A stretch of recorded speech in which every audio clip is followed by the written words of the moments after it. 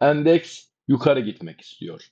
Enflasyonist bir ortam içerisinde bulunuyoruz ve enflasyonist piyasanın içinde bulunduğu kavramlar içerisinde özellikle parakende sektörü içerisinde bulunan ve aynı zamanda döviz bazlı geliri getirisi olan firmaların yaratmış olduğu kur farkı veya e, faaliyet dışı gelirlerin yarattığı bilanço avantajları bir şekilde belli hisseleri ön plana çıkarmakta.